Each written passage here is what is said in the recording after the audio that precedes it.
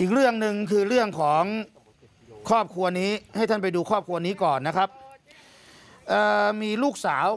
ลูกชายกี่คนต่อกี่คนก็ปรากฏว่าต้องมาล้มตาย ล้มหายตายจากไปตั้งแต่อายุสองเดือน บางคนห้าเดือนก็ตาย บางคนสองเดือน14วันก็ตาย คุณแม่ท่านนี้ก็เลยมาเล่าผ่านโพสต์ ว่าล่าสุดได้สูญเสียลูกสาวไปหลังจากฉีดวัคซีน วัคซีนเด็กนะไม่เกี่ยวกับโควิดวันละสามคนฉีดที่โรงพยาบาลที่หนองหาน ไม่ทันข้ามวันลูกตาย ไม่รู้จะไปเอาผิดใคร แต่อยากรู้ว่าทำไมลูกที่คลอดออกมาจากท้องตัวเองสามคน ทุกคนต้องมาตายในลักษณะแบบนี้ ผ่านไปเดือนสองเดือนตาย อยากจะขอข้อกระจ่างจากคนมีความรู้หน่อยสามศพแล้วครับ ลูกเธอครับ ตอนนี้เหลือลูกสาวอยู่คนเดียวสองขวบที่ยังมีชีวิต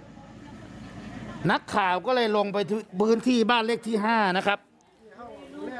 บ้านหลังนี้จะอยู่หมู่ที่ 11 ของตำบลบ้านดอนแคนอำเภอหนองหานที่อุดรธานีตำบลผักตบประธานโทษ เอาเป็นว่าพอไปถึงบ้าน ก็ไปเจอคุณแม่สิริพรกับคุณพ่อพงเทพ ครอบครัวนี้ฮะที่มีเรื่องขึ้นมา คุณแม่สิริพรเล่าให้ฟัง ว่าลูกสาวคนสุดท้องก็คือน้องพริดาใต้ชมพูเพิ่งคลอดออกมาอายุ 5 เดือนกับ 14 วัน ลูกคนที่ 4 เพิ่งมาเสียชีวิตโดยไม่ทราบสาเหตุไปวันที่ 17 พฤษภาคม ถามว่าวันนั้นไปทำอะไร คุณแม่ของเด็กอะค่ะก็บอกว่าช่วงเช้าของวันนั้นอะก็คือพาน้องเนี่ยไปฉีดวัคซีนเด็กที่โรงพยาบาล ฉีดเสร็จก็ไม่มีอะไรค่ะ ปกติดีก็เลยกลับบ้าน ทีนี้มาช่วงเย็นประมาณ 5-6 โมงเย็นน้องเริ่มงอแง ก็จู่ๆช็อกเลยค่ะ น้องช็อกทีนี้แม่ก็ตกใจมากค่ะทำอะไรไม่ถูกรีบพาน้องไปโรงพยาบาล แต่ว่าสุดท้ายคุณหมอช่วยไม่ทันนะคะ น้องเสียชีวิต คุณแม่บอกว่าน้องเป็นเด็กแข็งแรงก็ไม่มีโรคประจำตัวอะไร แล้วก็จริง ๆ ไม่ได้โทษวัคซีนที่ไปฉีดมาด้วยนะคะ แต่ก็ไม่รู้จริง ๆ ว่าทำไมจู่ๆมาช็อกตายแบบนี้ค่ะ ลูกตายก็เสียใจมากนะครับ ทุกท่าน แต่สิ่งที่มากกว่านั้นคือ ลูกเธอเสียชีวิตมาแล้วสามคน หนูมีลูกมาสี่คน เธอเล่า คนแรก ชื่อว่าน้องชุติเทพ เสียชีวิตไปปี 56 ตอนนั้นเด็กอายุ 2 เดือน 14 วันมือนี่จะเอาไปคนที่สองก็คือเอาต้มน้องทันชนกเป็นผู้หญิง คนนี้ก็เสียชีวิตไปปี 57 ถัดจากพี่ไปปีหนึ่ง ตอนที่ตายลูกคนที่สองเนี่ยอายุ 2 เดือน 14 วัน 14 วันอีกแล้ว คนที่สาม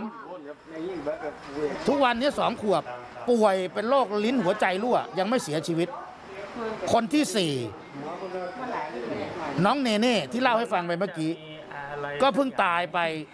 ด้วยวัยเพียงแค่ 5 เดือนกับ 14 วันผู้เฒ่าผู้แก่ว่าว่าว่ายังไงนะที่เราเสียเสียใจทำใจไม่ได้เจ้าก็เอิญรู้ว่าส่วงกินลูกนะคะหมอก็อธิบายไม่ถูกส่วงทำไม2เดือนตายส่วงทำไมบางคน5เดือนตาย กินลูกลูกกับพวกหูแล้วแล้วมีเนี่ยแล้วลงท้าย 14 วัน ค่ะลูกพิษชาคาใต้ทุนคือก็มีความเชื่อไปทั้งวิทยาศาสตร์ทั้งไสยศาสตร์ อ่าท่าน คุณตากับยายเด็กก็รับไม่ได้เหมือนกันโอ้คุณตาคุณยายบอกว่าทุกวันนี้เนี่ย